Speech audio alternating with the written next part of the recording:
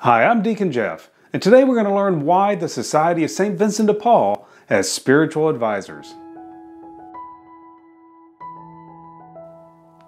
Let's begin with a question Do we recognize Christ in the poor?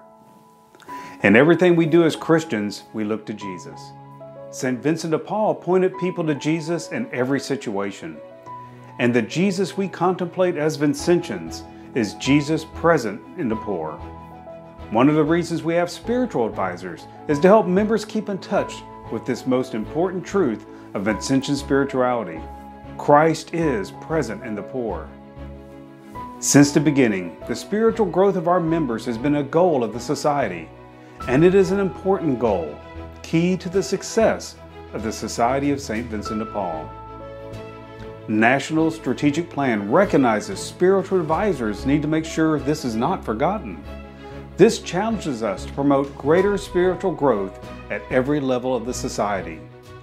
To accomplish this goal, Objective 1.2 mandates to have a trained and active spiritual advisor in every conference and council in the United States. This is in keeping with the rule, Part 1, Paragraph 2.2. They are called to journey together towards holiness, where they share spirituality at meetings through promoting a life of prayer and reflection, both at the individual and community level. Our members hunger for a deeper spiritual connection with their service. This is what makes the Society of St. Vincent de Paul different from other charitable services. Spiritual advisors cannot emphasize enough that our primary purpose is to grow in holiness and then to serve those who are poor. This may seem self oriented, but holiness is to do the will of God, which for Jesus is to care for the least of our brothers and sisters. And Jesus tells us this clearly in Matthew chapter 25 verses 31 through 46, the judgment of nations. This scripture had a big impact on St. Vincent de Paul, and it should on us as well.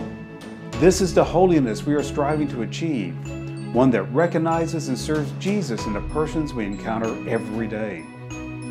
When the society was founded in 1833, they found it necessary to have a spiritual advisor or mentor to guide the young and enthusiastic group.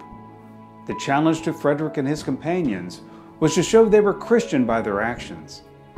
Emmanuel Bailly, the first spiritual advisor, made them aware of St. Vincent, who was the patron and exemplar of evangelizing and serving the poor.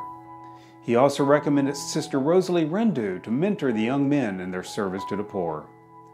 Spiritual advisors play an important role even today. Having a spiritual foundation gives our members the strength needed to persevere in this mission. This is important because you cannot give what you do not have. With spiritual formation, God gives the graces, the eyes of faith, to recognize Jesus who is present in the poor. Saint Vincent de Paul, pray for us.